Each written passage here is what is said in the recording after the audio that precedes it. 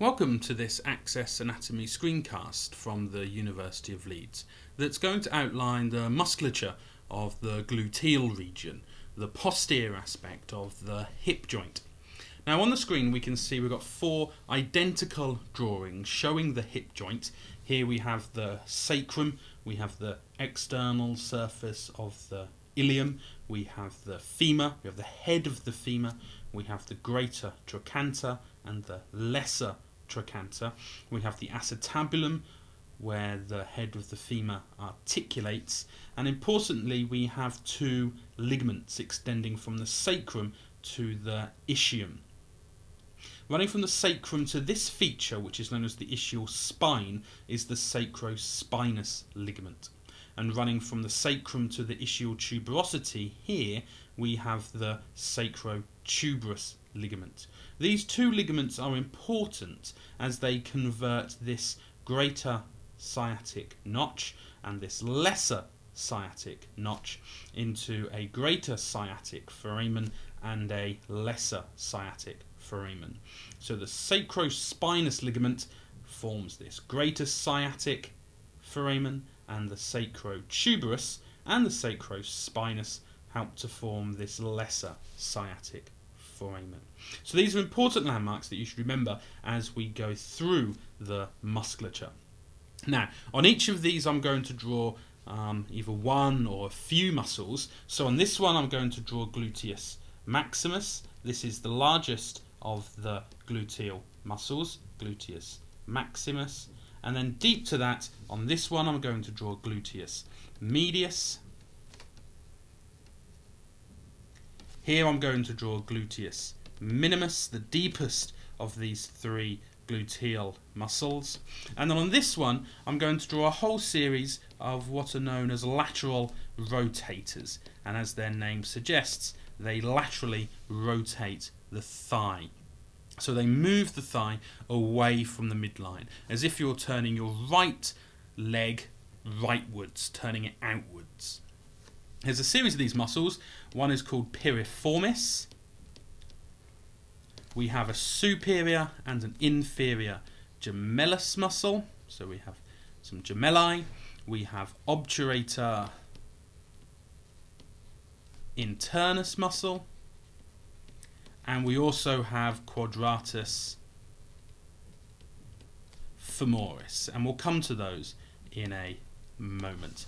First of all, let's start with gluteus maximus. Now, gluteus maximus is going to originate from the posterior surface of the ilium, so from around about here. It's also going to come from the posterior surface of the sacrum, so around here. And it's also going to come from the sacrotuberous ligament and parts of the ischial tuberosity. So this is its origin, and in most of its fibres are actually going to end up passing down towards an important tract called the iliotibial tract. And that's an important fascial layer that helps to stabilize the knee joint.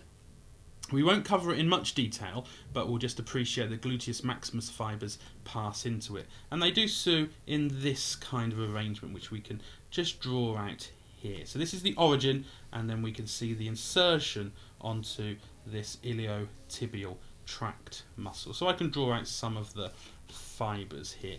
Now not all of the fibres go towards this iliotibial tract. Some of them actually do pass towards the posterior surface of the femur and on here we can see a series of these muscle fibres passing on to what's known as the gluteal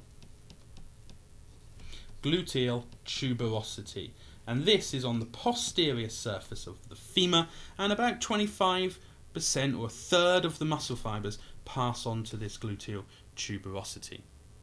If we then look at the gluteus medius muscle deep to gluteus maximus, then this muscle originates from the external surface of the ilium, from between these two lines here. This is known as your posterior gluteal line, and this is known as your anterior gluteal line. And these muscle fibres originate from the space in between these two lines and they pass to the greater trochanter of the femur and they do so in about this direction.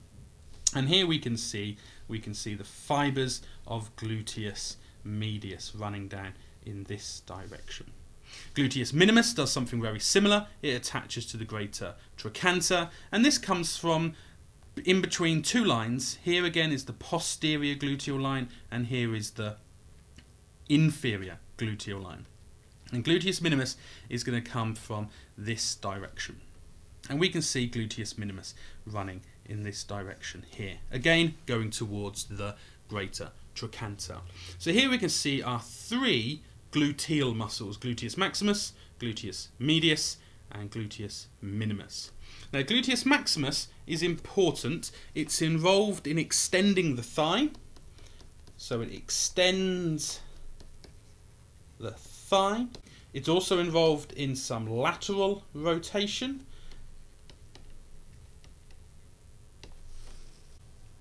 and it's vitally important in assisting standing from a seated position. So gluteus maximus here, it extends the thigh and it's an important lateral rotator. Gluteus medius and gluteus minimus carry out similar functions. These two muscles are involved in medial rotation, so that's the opposite to lateral rotation, medial rotation. And as you can imagine by the direction of their muscle fibers, when these muscle fibers contract, they can also abduct the femur. So they can abduct the femur in this direction, away from the midline. Gluteus medius, gluteus minimus are important in abducting the femur at the hip joint. So now let's turn to our lateral rotators, which we can see over here. And the first one I want to talk about is piriformis. Now piriformis actually originates on the anterior surface of the sacrum. So we're seeing the posterior surface here. Piriformis actually comes from the anterior surface of the sacrum. And it passes out of the pelvis via the greater sciatic foramen. So it passes out of the pelvis in this direction and it assumes a triangle shape as it passes out and heads towards the greater trochanter of the femur here. So piriformis, it's coming from the posterior, it's coming from the anterior surface of the sacrum, passes out of the greater sciatic foramen and attaches to the greater trochanter. Just inferior to piriformis, and I'll do this in a slightly different colour, Inferior to piriformis, we have the first of our gemelli muscles, and this is superior gemellus. And superior gemellus runs really from the ischial spine, and it goes straight across towards the greater trochanter again. So ischial spine across to the greater trochanter. Coming from beneath the superior gemellus, we have inferior gemellus, and that passes in a similar direction, but it comes from a piece of the ischial tuberosity and it runs in this direction. So here we have inferior gemellus and then the orange muscle above it we have superior gemellus which we can see there. In the red one we've got piriformis up here. Quadratus femoris is the most inferior of these muscles and this passes from the ischial tuberosity and it goes straight across towards what's known as the intertrochanteric crest. This crest that's running between the greater and the lesser trochanters. So here we can see the quadratus femoris muscle. Quadratus femoris here. And that leaves this final muscle, which is obturator internus.